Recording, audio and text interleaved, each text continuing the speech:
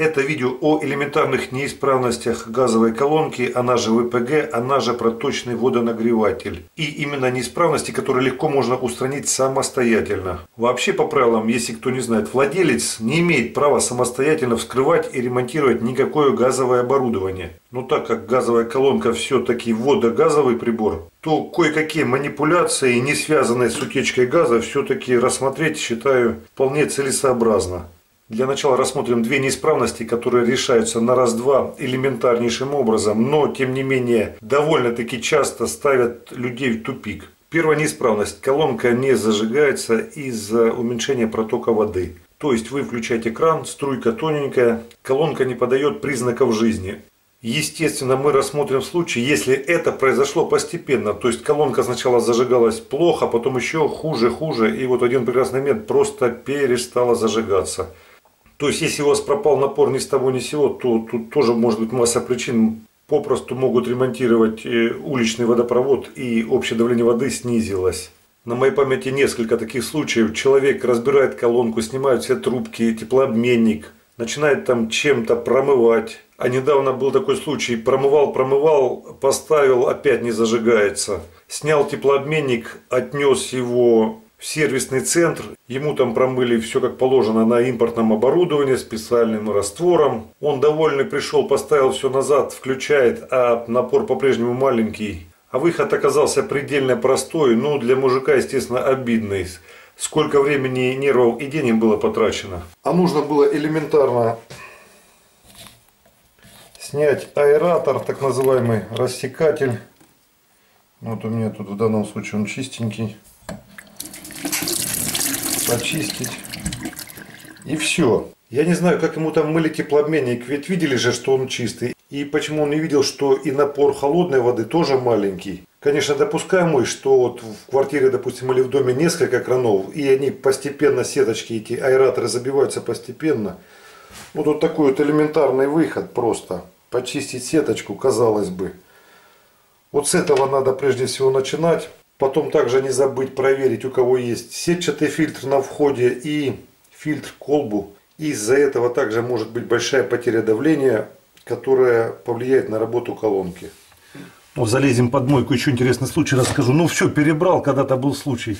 Нету напора и все. А оказалось вот в этом шланге, вот это двойной к смесителю, просто окалина застряла и не было потока холодной воды. Ну, никогда такого не было, никогда не сталкивался. Она окалина, видать, пошла с теплообменника и забила, и из-за этого мозги компасировала.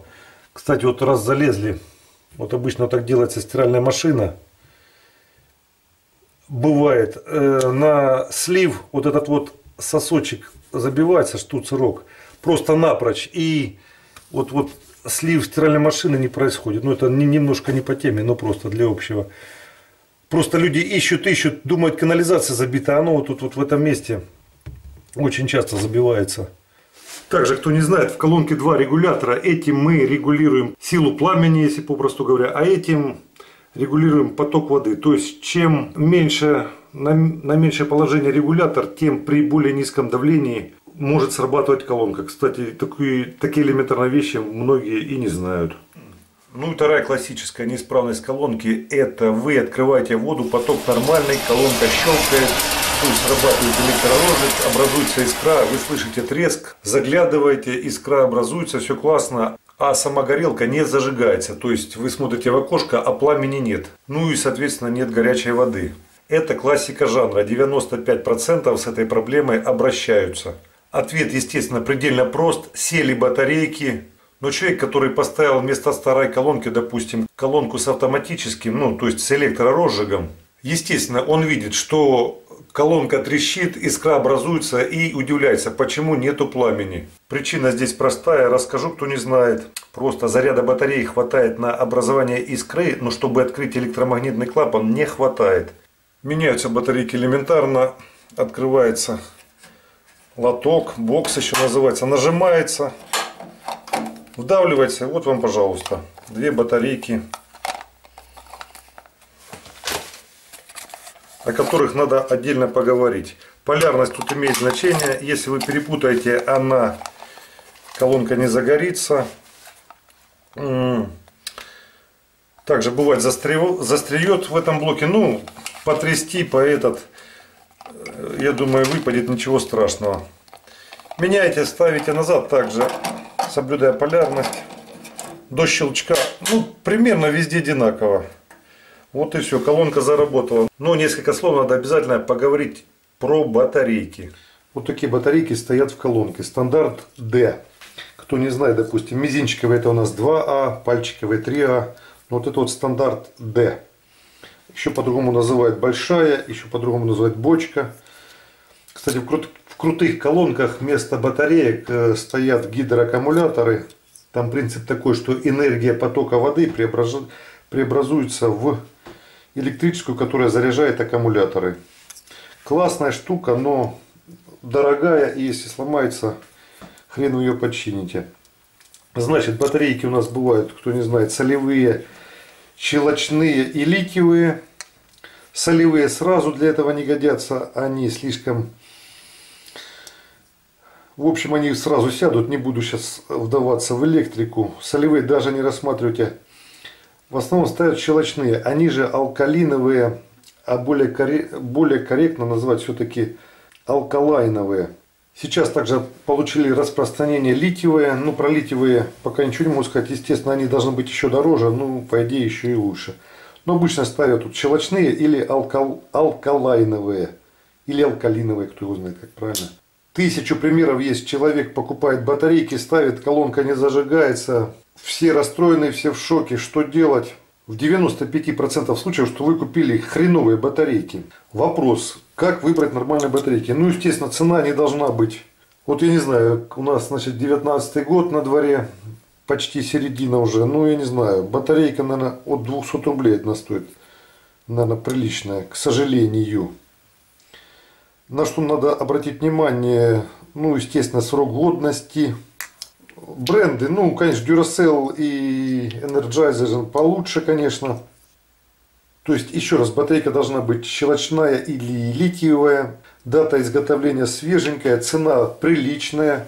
Есть такой распространенный способ проверки батарейки на заряд, если нет под рукой ничего. То есть, берем ее немного это, она как бы отскакивает. А заряженная как бы, ну, чувствуется, что по-другому.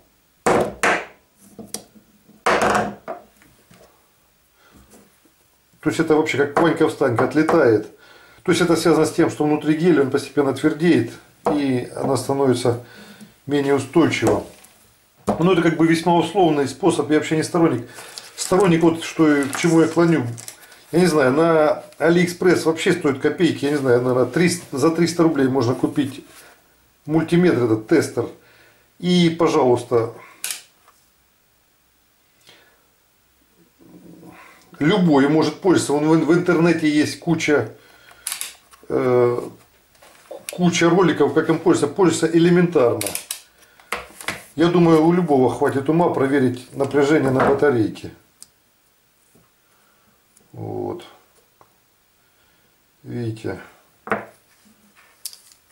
разрежено. Это еще ничего. То есть вы знаете, на ней написано полтора вольта, а у вас показывают, допустим, 1,2 вольта. Нафиг вам такая батарея. Поэтому моя рекомендация в хозяйстве пригодится. Когда батарейки за такие деньги, как бы ошибиться не очень хочется. Вот это мой совет. Надеюсь, видео для вас было полезным. Подписывайтесь на канал.